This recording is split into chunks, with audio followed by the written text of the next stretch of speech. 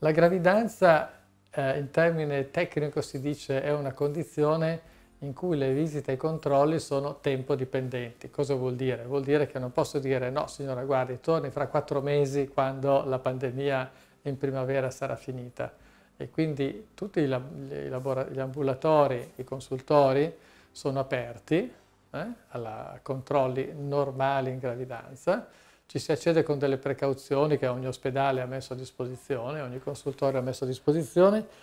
nel caso in cui eh, gli screening per le anomalie cromosomiche, se volete farli, dovessero indicare l'opportunità di fare una miocentesi o una villocentesi, ecco, se ci fossero dei sintomi eh, da Covid, una positività da Covid, si preferisce comunque posticipare eh, gli interventi invasivi, ma questo naturalmente interessa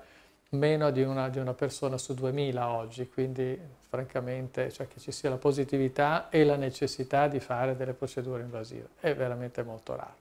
Quindi